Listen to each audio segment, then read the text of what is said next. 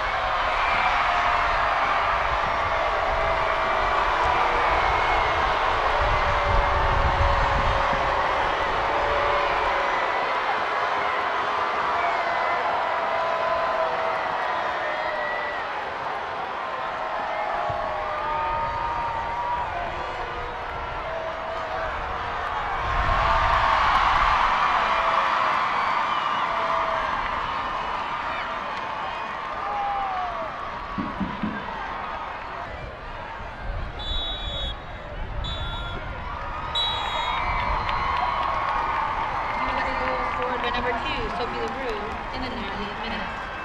Pour les États-Unis, marqué par le numéro 2, Sydney Leroux. Dans